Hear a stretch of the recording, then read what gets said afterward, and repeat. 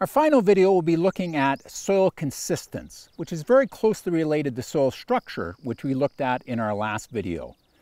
Basically, we want to know how will those peds behave when they're subject to a disruption, or how will they behave when they're very wet? And that's what the consistence test tells us. There's two types of, of consistence. They're uh, depending on the moisture level. So the one category would be moist or dry consistence, and the other one is wet consistence or stickiness. Now this profile is quite dry, so we'll be doing the dry consistence test and then follow that with the wet consistent or stickiness test. So for consistence, what we're going to do is subject the ped to a force. And the force for dry consistence, the least force will be squeezing it between my thumb and forefinger, or I can try to squeeze it in my hand, which has higher pressure, or with my foot, which would be the highest pressure of all. So an escalating scale of force to see what the, how the ped uh, uh, will withstand that. And it's uh, one of the things we look at consistence for, for example, is compaction.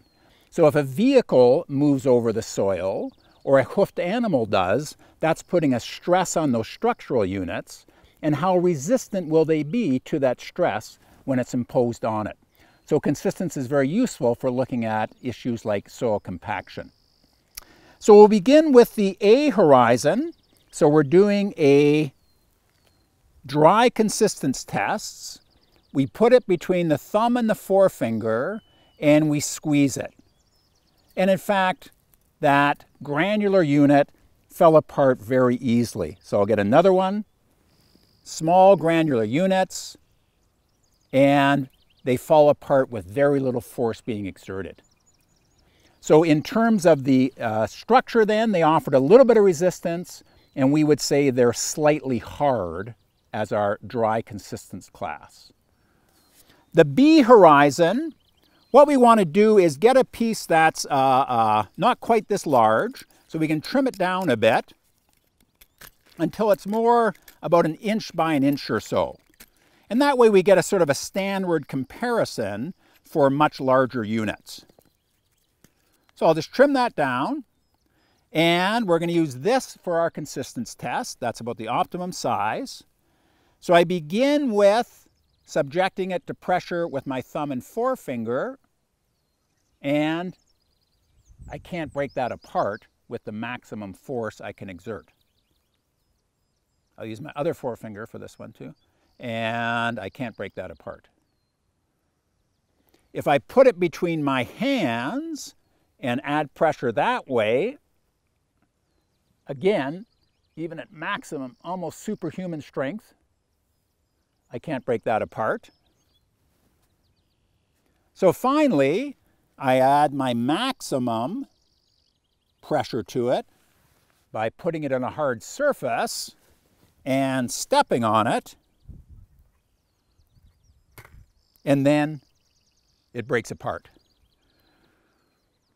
Okay, so having added that final amount of pressure, I was able to break it apart.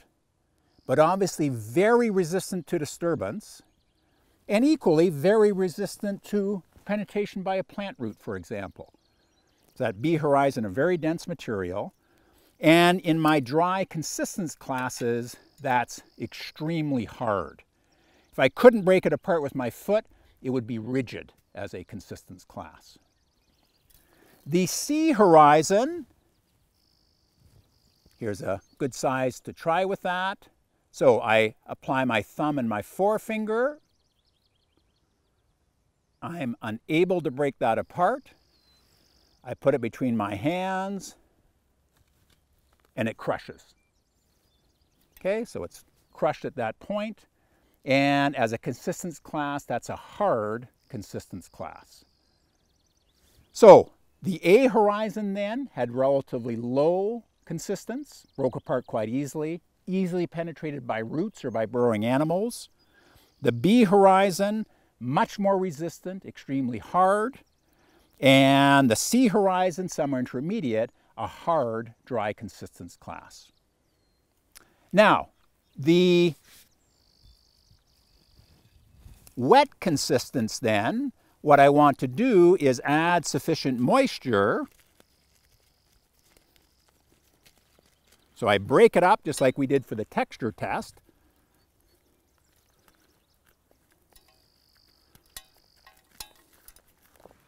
I moisten it, and in fact, I saturate it this time, wetter than I did for the texture test.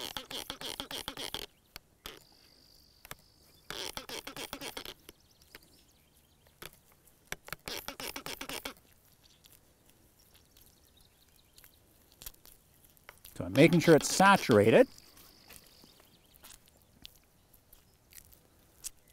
And what I'm going to do is put a little bit of it between my thumb and forefinger I'm going to put some pressure on it and I'm going to release the pressure. And what I'm looking for is, does the material adhere to my fingers? And when I release it, will it actually stretch and maintain its contact between the two fingers? And basically, the higher the clay content, the greater the stickiness, and the more it will stretch between my two fingers. So it's very closely related to the clay content. And this test tells us, for example, how well will the soil bear a strength when it's wet? I mean, are you likely to get stuck or not in a soil? And basically, the higher the stickiness, the easier it is to uh, get stuck in a soil like that.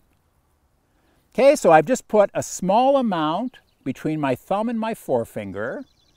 I press on it and I release.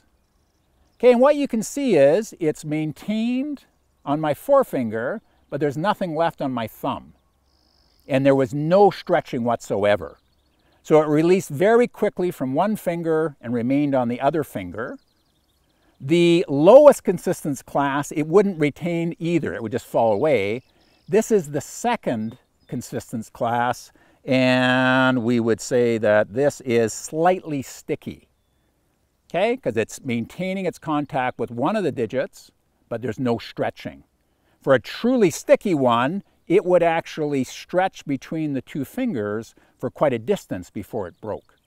So this would be slightly sticky, and in fact, the other two horizons are slightly sticky as well. They're quite similar in terms of texture, and hence we would expect, and they do, behave the same way for our wet consistence class.